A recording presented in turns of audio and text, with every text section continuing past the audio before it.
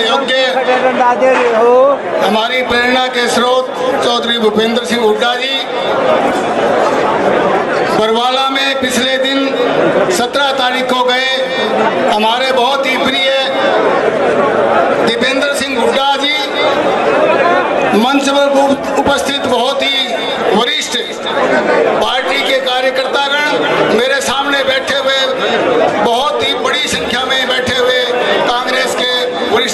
प्रतापगढ़ मैं तो सबसे जूनियर आदमी हूँ कांग्रेस में और सबको प्रणाम करता हूँ आप लोगों को।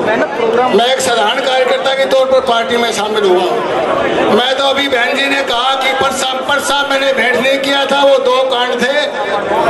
एक परसा कांड था, एक मुकुट कांड था।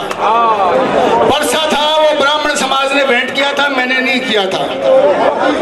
मैंने मुकुट भेंट किया था, जिसके वर्षा क्योंकि ब्राह्मण समाज का दिया हुआ था, वो हाथ में लेकर के इस तरह की बातें कही गई, जो कि यहाँ बताने लायक भी नहीं है।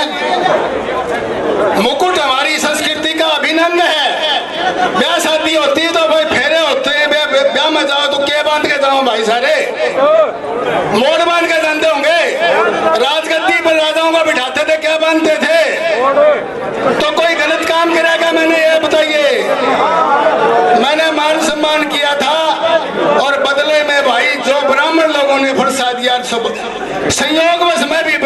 घर में पैदा हो रहा हूँ, ब्राह्मणों को इस चीज़ की तकलीफ़ थी भी मारा परसा लेकर मारे आदमी को काटे जाए। तो इससे तो ब्राह्मणों का अपमान हुआ था।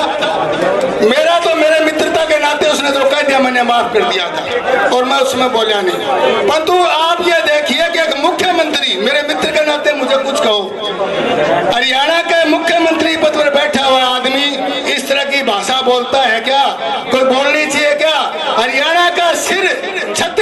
मंत्री कासिम शर्म से चूक गया कि एक मुख्यमंत्री बैठा और कैसी बात नहीं बोल रहा है। और आज तक उसने क्षमा याचना नहीं की इस बात की। तो भाई, मैं तो आपसे ये निवेदन करूँगा, ये कोई बालू को जिताने का या कोई और का इलेक्शन नहीं है। ये अहंकारी मुख्यमंत्री को धूल चटाने का समय आपको मौका दे दिया भगवान ने बड़ोदा के लोगों को। हमें क्या पता था उस समय ऐसा होगा।